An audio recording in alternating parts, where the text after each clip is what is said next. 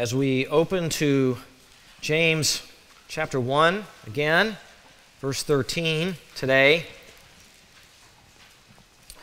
We come after quite a lot of instruction in the book of James about trials, our trials, the trials the Lord brings our way, difficulties. With all that has already been taught about trials, one may wonder what could James still have to say about trials at this point? So much has already been said.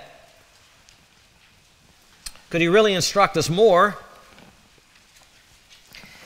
And the answer is yes. There's one more issue related to trials, one potential area of deception which often accompanies trials James wants to make sure he addresses before leaving the topic. You see, James recognized what's true, and that is with each external pressure, each trial that we face, we get, with each unsolicited difficulty that comes our way in life, there is the flip side to the trial,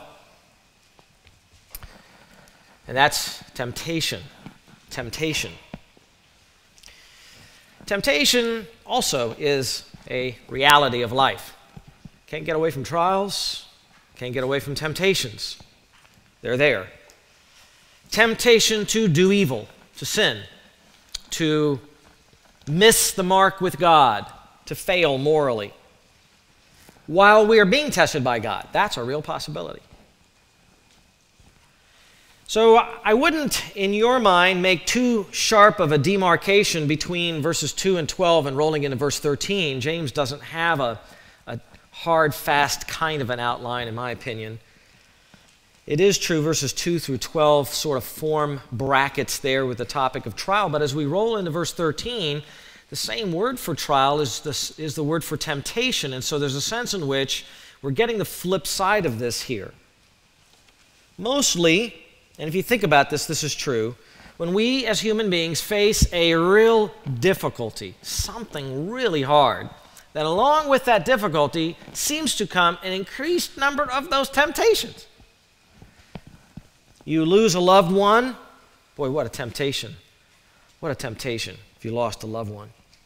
Or you fall ill and you get sick, face something you weren't counting on, you didn't plan on. Boy, what a temptation in many different ways a financial crisis, not just a bad month, but I mean a crisis. You're faced with all kinds of struggles, or a tragic accident, a false accusation against your character, and all of a sudden there's all kinds of things that are dredged up and you're facing them.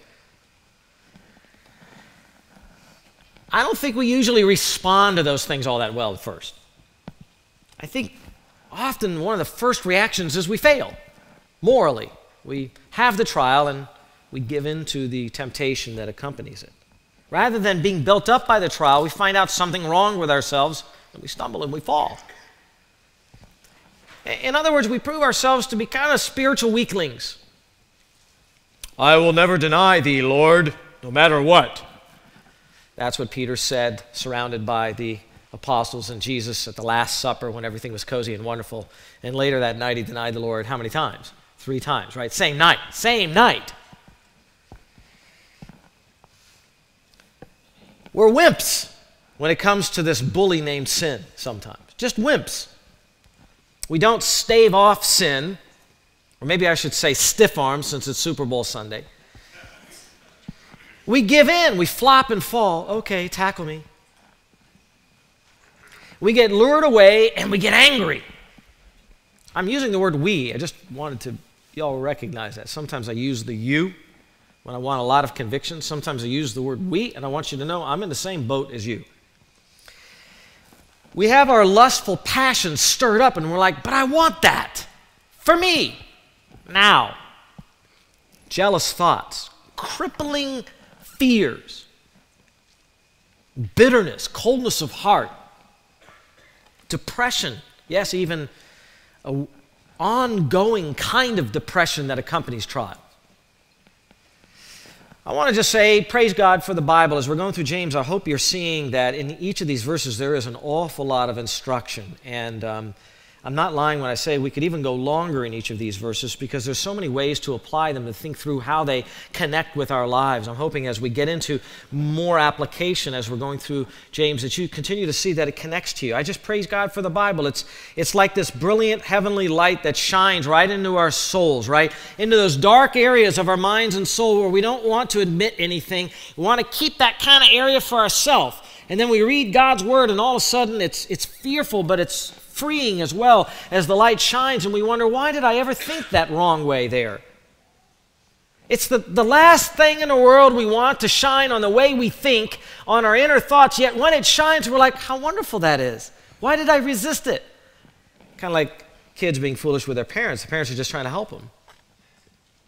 The light rays bursting into our minds, transforming our thinking, illuminating dark areas, and dispelling them quickly. Did you know that scriptural truth is the best and highest kind of psychology? It is. Its analysis of your soul goes deeper and more exactly than anything else. It operates on the heart, cuts it open, Hebrews 4:12 talks about, penetrates to the deepest part of your life, your thought life. And it comes with the power of God. It comes with the precision of God. It comes with exactness. It comes with insight from the eternal one who made us. So that all the thoughts about, well, this is what's wrong with me, and this is what's wrong with me, and this is what's wrong with me, and this person shares their idea, and this book shares that, put it all aside and listen to what God says. He knows better what's wrong with you. Let Scripture transform your thinking and find freedom in that. Scripture alerts us that lurking behind every trial that is sent from God to build up our faith, to make us stronger, is an ugly temptation lurking in the shadows to leap upon us, grab hold of us, and tear us down in sin. As anyone who's ever been through a tough trial knows, temptations always accompany stressful and hard and dire circumstances. When are we most tempted to be impatient and angry with others? When we're tired, when we're worn down, when things don't go our way. Yes? Isn't that right? You come in here, you're well rested, everything's fine most Sundays, you're not angry, put yourself in the pressure cooker, and you respond differently, right? When are we most unkind in our responses to others? I'll give you the answers. When they're rude to us. Going along, you're having a wonderful day, someone does something to you, and like, boom, just comes out. I know because it happened to me yesterday. like, where did that come from? I want to get stuff done. That person is slow in front of me. Why does it be slow today? This is the day I've got great plans for lots of stuff. Person driving along slower than slow. It's, I'm still recovering. But I know what it is. I know what it is. It's me. It's my sin. When are we most covetous and unsatisfied? When we're flipping through a catalog or going through internet sites shopping, right? That's when we're most dissatisfied. When are we most fearful and lacking peace? Well, we're solid in our faith until we lose our job. Then we find out where our faith really is. Lose our insurance, right? When are we most bitter? When people have hurt us and they've been unfaithful, one after another after another. And you answer, and God doesn't remove the trial. So we become bitter, cold, but if that is so, and it is, what does that say about God who brought us the trial in the first place? What does it say about him? We did not ask for the trial, he gave the trial. If he brings the trial and then I sin because of the trial, isn't God partially to blame for my sin? After all, some reason, we would not have gotten angry or fearful or depressed if God had not allowed that trial in our life in the first place. It's him, you see. It's got to be him. So we might think. so that's the remaining question that James is trying to deal with. He doesn't want to leave this unanswered in this masterful discourse on trials. For how can we consider, verse 2, trials all pure joy? And how can we uh, focus on the eternal reward of verse 12, the blessing that we'll get, the crown of life? How can we have an unmixed faith in God without doubting? Verse 7 if our minds are wondering, Am I the only one to blame here? Or have I been set up? Are there divine forces working against moi? James realized that some who are weighed down with the pain of life and giving in to sin right in the midst of that situation might become deceived, often do become deceived. And that deception leads them to blame God, at least in part, at least in part. Man, that is where a lot of people are today, blaming God. You push them and push them to say what they really think about their, themselves and God and life in general and the way things have panned out for them. And you really get them to be honest and they say, Why did God let that happen to me? Why did God bring that into my life? And behind that question and that tone is, It's got to be partially God's fault. And so notice in verse 16, beloved, the Spirit of God moved James as he's writing this epistle to write some very important words. Do not be deceived, my beloved brethren. God is good, he goes on to write about after that. So we're in a section, verses 13 through 16, that wants to help us not be deceived by providing divine light. Let's read it 13 to 16. Let no one say when he is tempted, I am being tempted by God. For God cannot be tempted by evil, and he himself does not tempt anyone. But each one is tempted when he is carried away and enticed by his own lust. And then, when lust has conceived, it gives birth to sin. And when sin is accomplished, it brings forth death. Do not be deceived, my beloved brethren. And he goes on to talk about the goodness of God and all the good blessings that come. Well, this is a brief section. It's very colorful, though. I think it serves two purposes. One, to indict sinful man that he is the cause of his own sin, he is to blame. The second is to defend God. God is not to blame, God is holy. God, he's good, he's holy, not to blame. This is a justification of God. Man, he is to blame. He's sinful. That's where the blame should be pinned. That's what the section is really saying. That's it in a nutshell. It is, in fact, a defense of God. Call that a theodicy, that which is a justification of God. A theodicy is a defense of the God of the Bible against accusers. A theodicy seeks to show that God is right and God is worthy of all praise and adoration. His judgments are correct and all of God's critics are wrong. That's what a theodicy does a proper biblical theodicy simultaneously will uphold God as sovereign over all things, yes, even over evil, and the evil choices of men and the evil choices of demons, yet he never advances evil, he never approves of evil. Rather, the theodicy would explain the universe this way God is the creator of all things, and He chose to create moral creatures with the capacity to choose good and evil. But evil itself is not a thing created by God. God did not create evil, nor did evil create itself. Evil is not even a substance to be created. Evil is not like the dark side of the force, something that has always been there that can be tapped into, and it's kind of eternal and ongoing in a dualistic kind of understanding, like the Star Wars has popularized here. God did not create evil, evil did not create itself. Evil's not a thing. Evil is not a thing to be created. Evil is the absence of a thing, as St. Augustine made so clear. Evil is the perversion, the corrosion, the disruption, the marring, the pollution of a thing, of good things that God has created. Evil is taking something good and messing it up. Evil is taking truth and twisting truth, and what do we call that? A lie. Lying is evil, but lying is not a thing, it's an absence of a thing, it's the absence of truth. Evil is taking love, which is gorgeous, wonderful attribute to have, and warping it and turning it into lust. Lust is not a thing. Love is. Lust warps godly desire into evil desire. Evil is taking worship, which is wonderful and essential, and ruining worship, and we call that idolatry. Idolatry is the impulse to worship God driven in the wrong direction.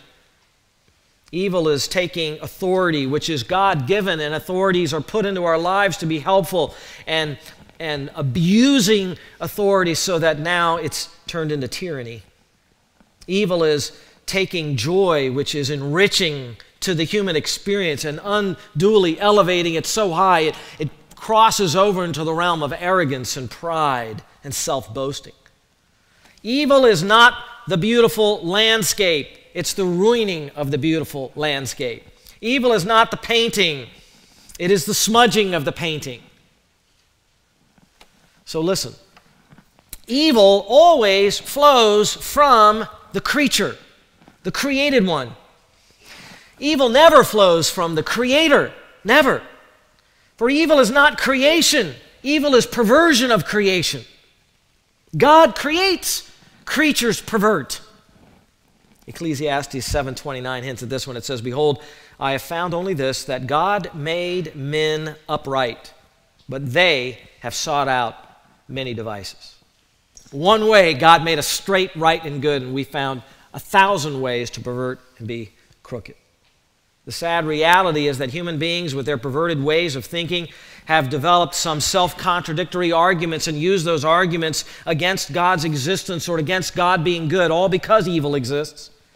It even has a name. It's called the problem of evil. But arguments against God's existence and God's goodness are flawed at their very base, for in their pride, it renders them incapable of even challenging the assumptions that they have that maybe it's not God who's not there or God who's not good, but we who are not good. Man, in all of his human education, is already prejudiced against the truth, against seeing the truth about themselves before God. Humans will sooner find fault with God, particularly the God of the Bible, than with themselves. James knows this, and so James has to write this emphatically. He puts a section, he makes it clear so there can be no misunderstanding. Men are wrong. I'm writing this to vindicate God. Let's get our thinking straight. We can never legitimately pin the blame for our evil, our depravity, our moral failings on the Holy Creator. We cannot do that.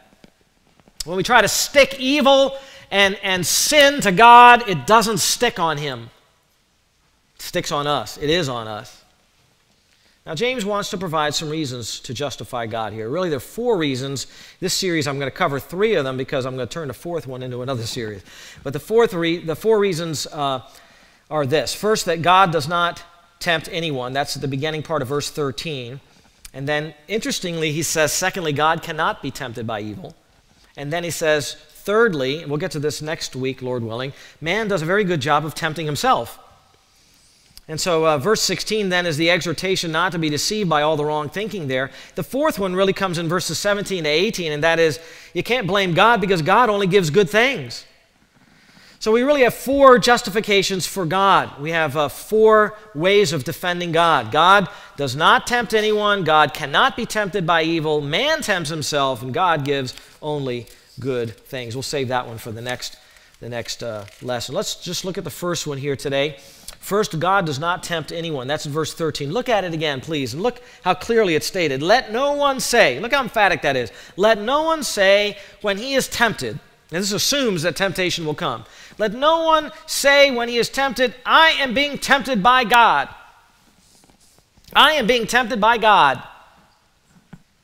Now, we saw back in verses 4 through 5 a little bit of a word link between those two verses, just sort of a a, a, way in which James continues a thought or transitions into a new thought. And so there's a word link there between verse 12 and verse 13, and it's the word tempt with test. As we noted before, they're exactly the same word in the original Greek, peirasmos. Only context can tell whether peirasmos is a positive thing that God brings into our life we're to rejoice in, that is a trial, or a negative thing that is meant to tear us down thus translated a temptation. But they are different. A test we endure. Why? Well, we were told to receive the benefits of the test. A temptation we resist because we want to avoid its destruction. We must have completely different responses to these two ever present realities in our lives. The two concepts are closely related, but they have a very important and key distinction. James separates them very abruptly and directly by saying, Let no one say, when he is tempted, I am being tempted by God. That's hard to misunderstand. A test, yes, God brings a test upon our lives. A temptation, no. Such a thought as God tempting us to evil is intolerable to a godly mind. A mind renewed by Scripture never says that God's tempting me. That mind's too steeped in a godly way of thinking would never say that. James himself is abhorrent at the idea. You can see his personal response to this here, can't you? Let words such as these never be found on anyone's lips, and that implies also don't even say them to yourselves quietly. God's tempting me in your thought life. Don't let that happen. Don't let it come out of your mouth. Don't let it be what you think in your own head. Please notice again, end of verse 13. He says again quite plainly God Himself does not tempt anyone. No one who has ever been tempted has ever been tempted by God. That includes you and me. Being tempted by God, with that preposition apo, means more accurately being tempted from God or of God. In other words, the emphasis is on the origin of the temptation.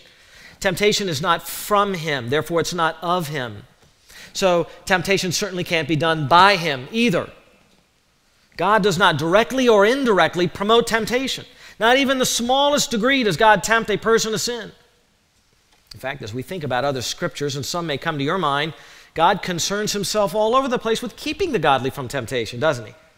When the disciples asked Jesus to pray, or to teach them to pray in Matthew 6 13, Luke 11 4, Jesus said, Pray then in this way. And one of the things he said is, Lead us not into what? Temptation.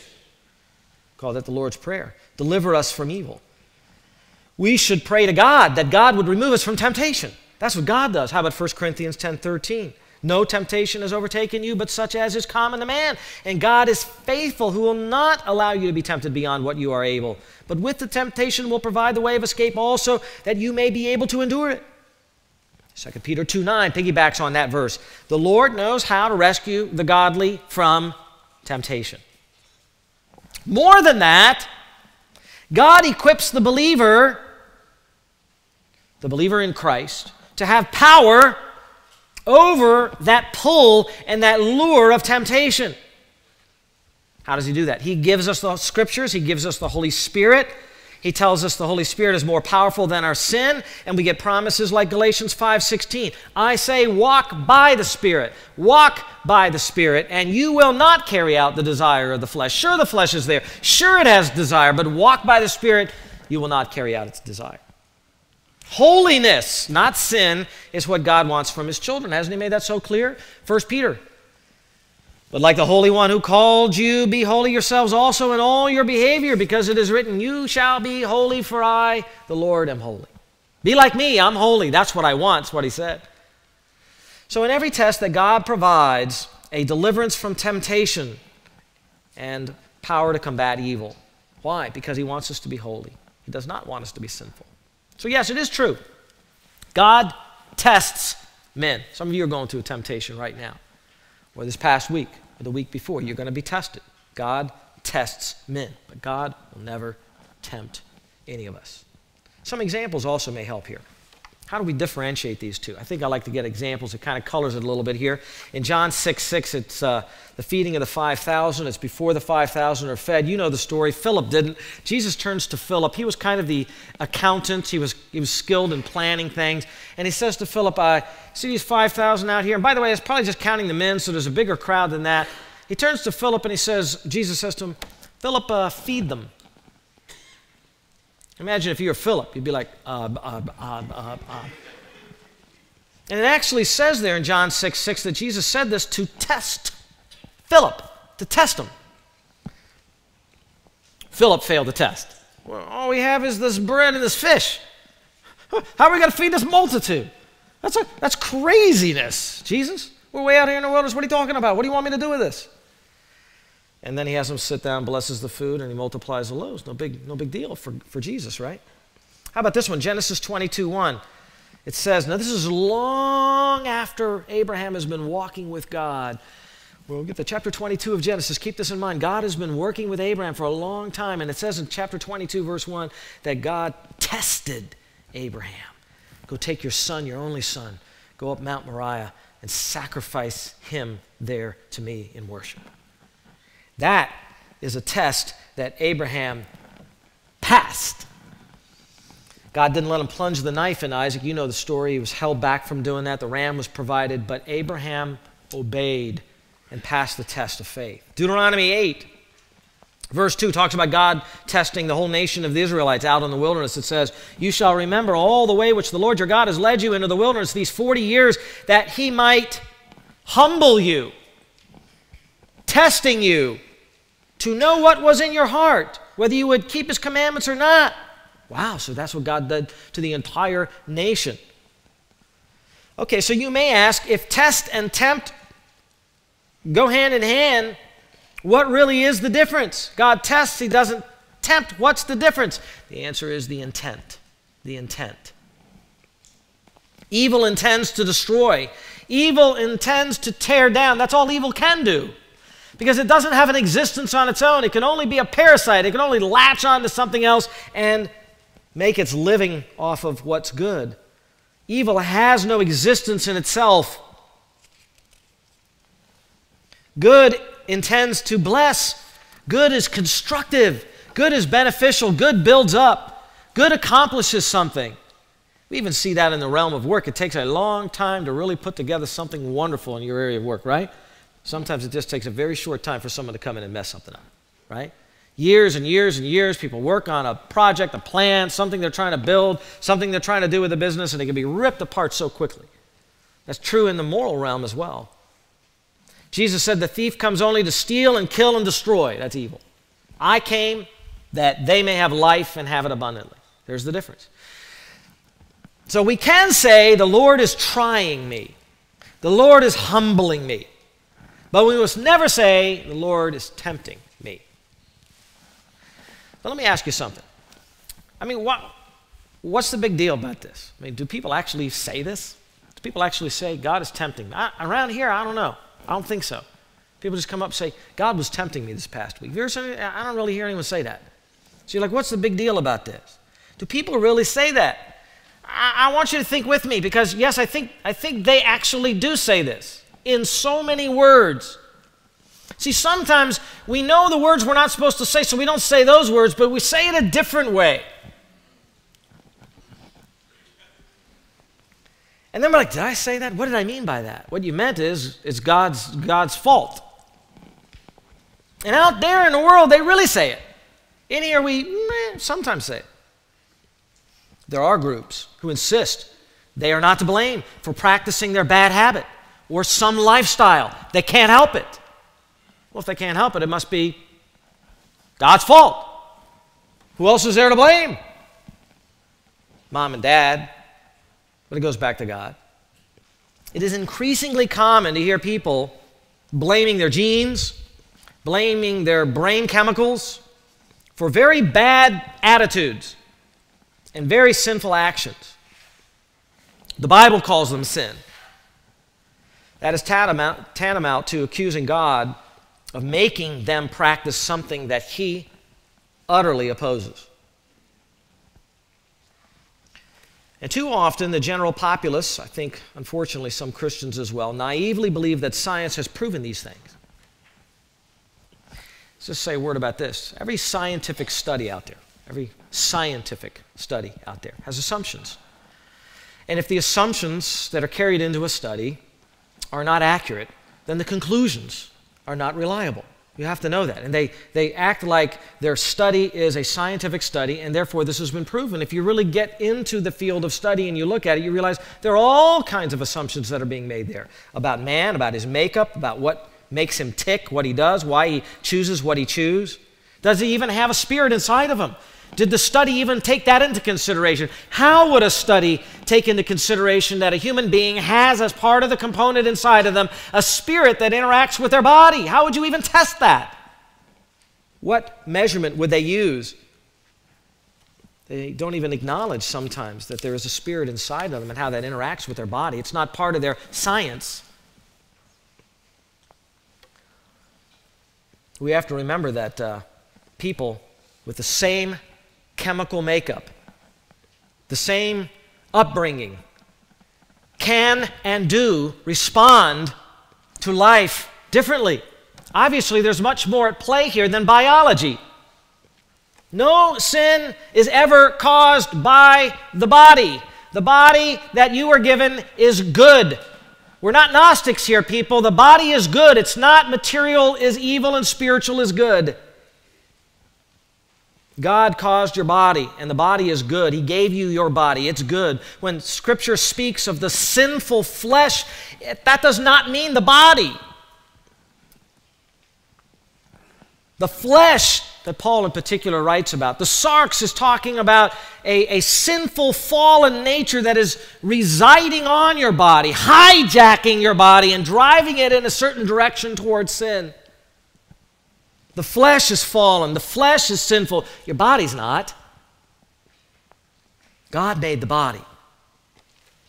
Just as the sinful mind is not exactly the same thing as the physical brain, the mind sits on the brain and the mind uses the brain, but the mind is not the same as the brain.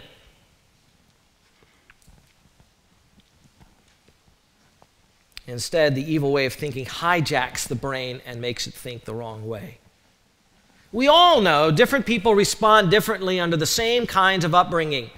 There are poor who look around and blame their upbringing and blame their surroundings and they turn to a life of crime and it's not their fault. What else were they supposed to do? And then there are poor who work very hard and care not about the unfairness of life. And they work hard at school or a business or whatever they're good at and they succeed legally. There are those who have been abused as children and because of the abuse as children, they say, well, that's why I am the way that I am. I can't respond to this and I can't do that well. And they've been told that by a scientist. But there are those who have been abused worse than they have as a child and learned God's grace, and it doesn't hold them back at all. In fact, it fuels their understanding of their relationship of God and the power of grace at work in them.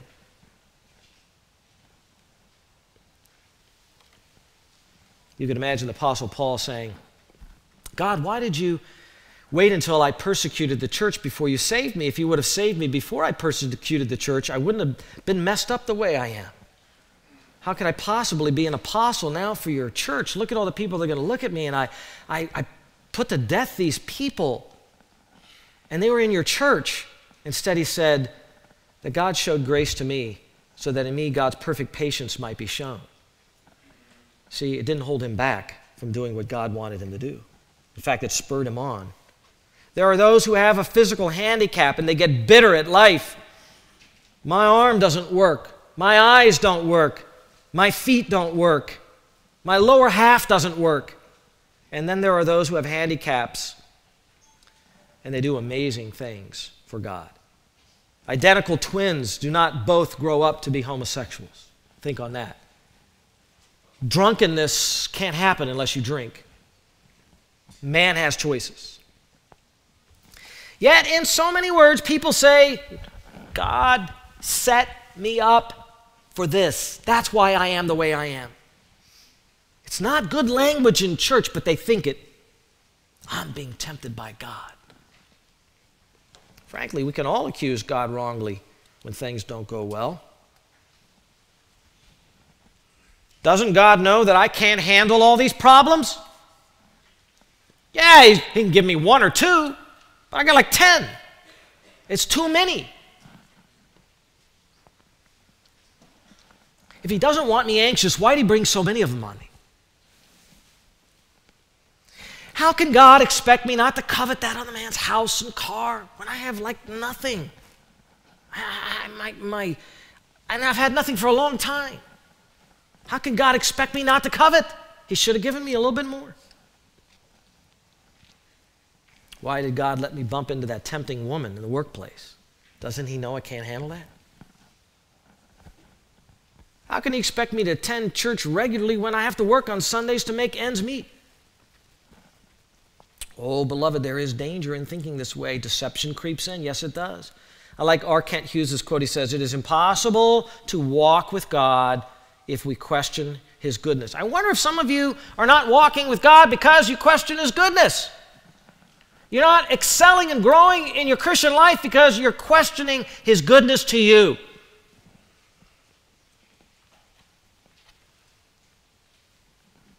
We will hide from God. We will avoid God's word, the Bible. We will get angry at God.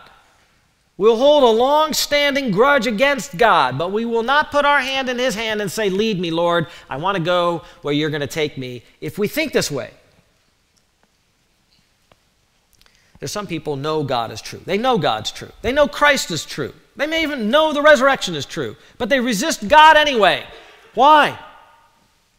Because they think something like this Well, if God wants me, He knows where to find me. It's His fault. He should have used me better in life. He put me on a shelf.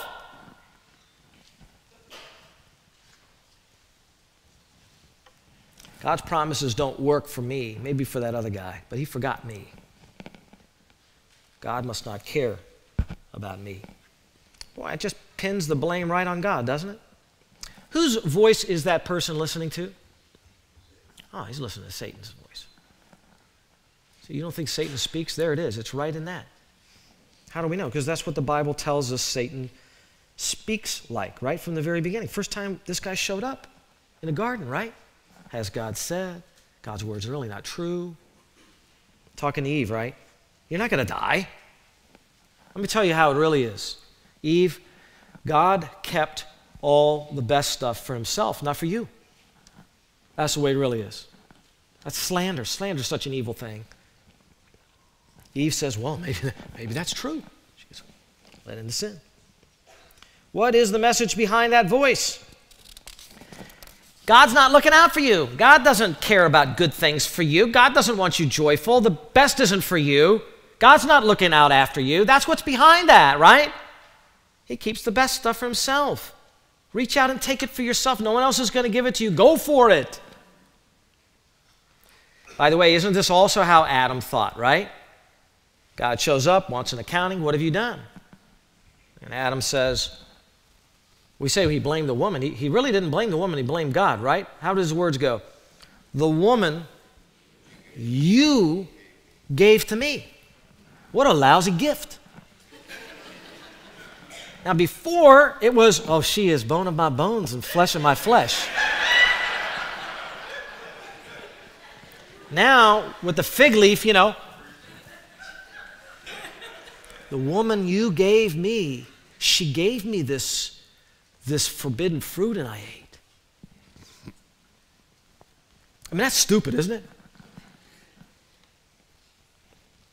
It's your fault, God. Nothing's really changed. Man still passes the buck. All the fingers pointing away. Not even like that, where some are pointing back. It's just, it's everyone else's fault. A little bit here, maybe, a little bit here.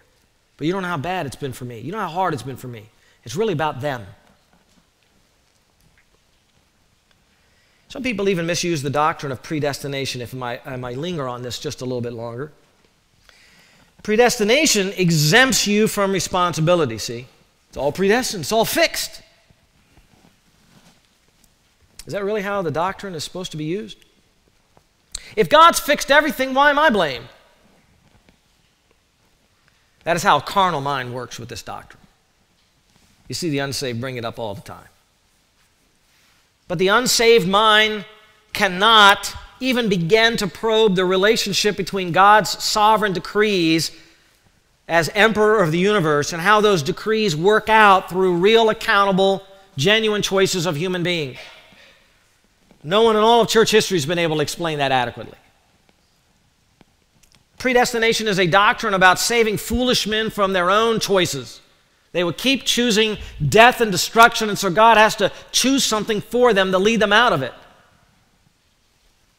Predestination is not a doctrine to excuse men for making bad choices. Those who are not saved get exactly what they choose and what they like sin. Blame shifting is such a huge part of our culture and society now, it's everywhere. No astute observer can deny it. It infects all of humanity. And they talk about the measles outbreak in California. it's like, we got an outbreak of blame shifting everywhere. When one guy blames another, it just spreads. Boom, boom, boom, boom, boom, boom, boom. Not me, not me, not me. Humans are very skilled at covering up the truth about themselves. Oh, and uncovering the truth about other people. It's amazing. That's called hypocrisy, by the way. It's not just presidents and senators and CEOs who live in the spin zone.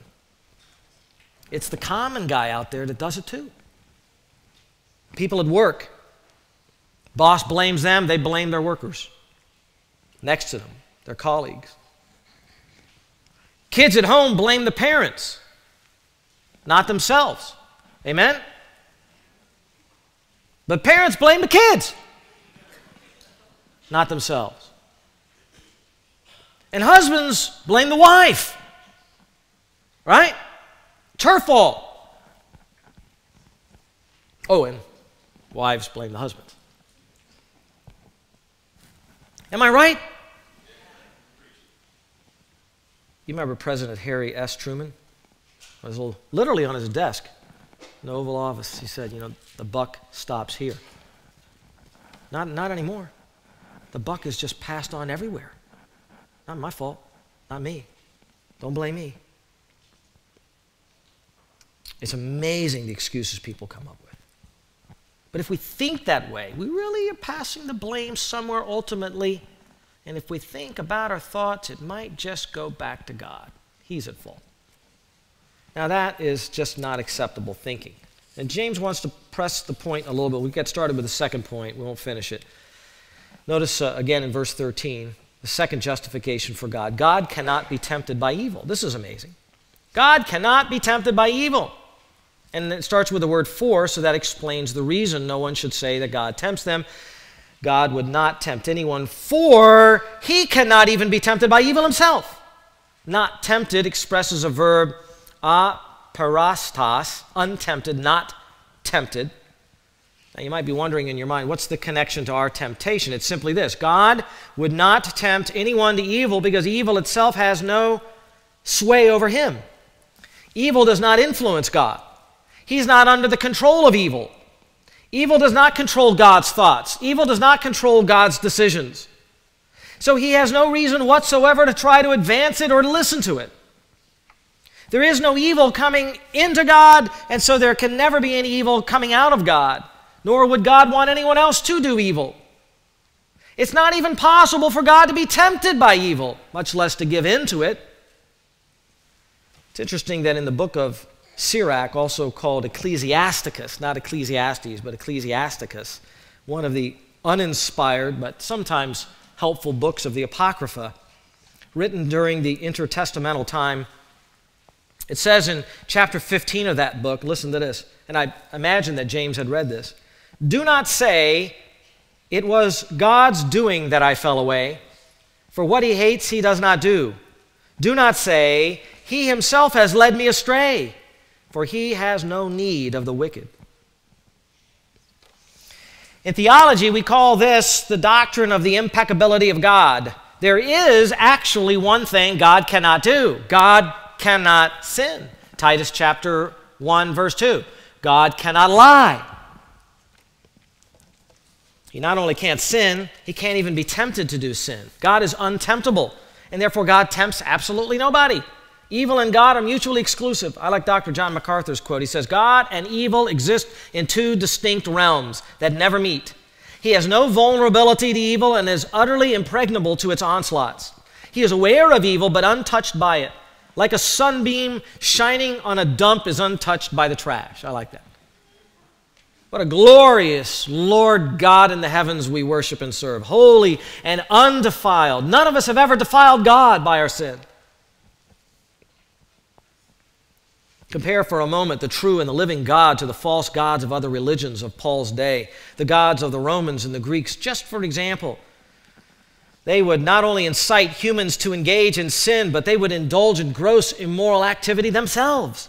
Zeus, the chief god of the Greek pantheon, was a conniving trickster and engaged in many illicit affairs with mortal women. And then there were jealous gods like Hera, often spying on Zeus. These days, you're getting all these ancient gods, these false gods that are being depicted on television, and they're becoming popular and all of that. But look at their character, they're pathetic. The true God of heaven, the maker of the ends of the earth, the God and Father of our Lord Jesus Christ, the Savior of mankind, is purely lovely and holy. That's why we have so many verses in the Bible that say things like, who is like thee among the gods, O Lord? Who is like thee, majestic in holiness, awesome in praises, working wonders? Exodus 15 11. Those who say that all religions are the same are willfully ignorant of the God of Christianity.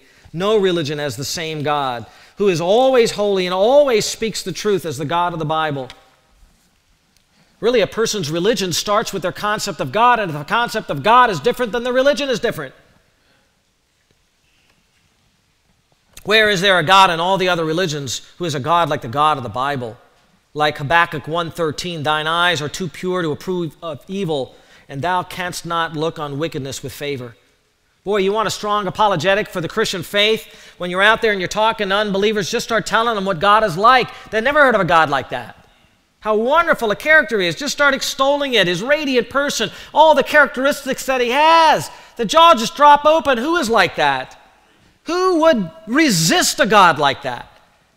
It would be to commit suicide forever and ever. It's irrational.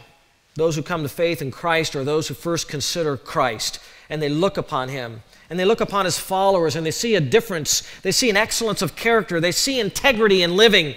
They don't find that anywhere else in the world. God is pure. God is uncompromisingly holy. He never tempts to sin, ever.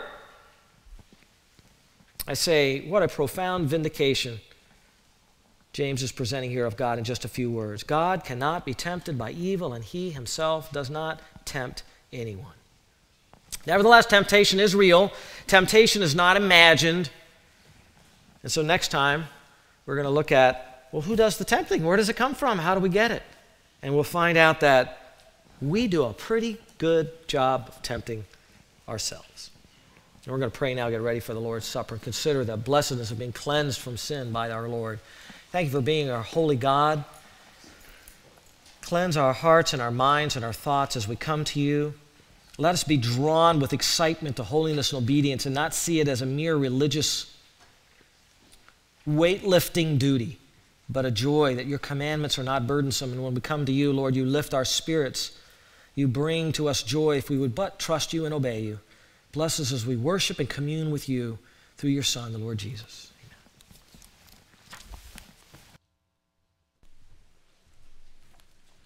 Please stand with me.